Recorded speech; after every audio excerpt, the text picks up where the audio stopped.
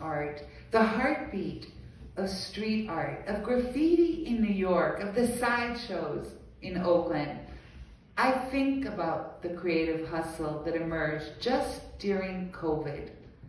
The street murals in Oakland as an archived protest, the brunch carts, the date nights on the lake catered by unemployed bar staff. What's more, the energy of the reclamation of our streets, the joy, the disruption, that cathartic feeling and release of pain, the celebration in this iteration of revolt, the events and hustles outside of the law or besides it or counter to it sometimes.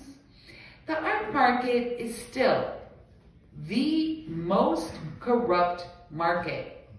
So why judge? Let it go. And don't commodify it, comrade. Don't.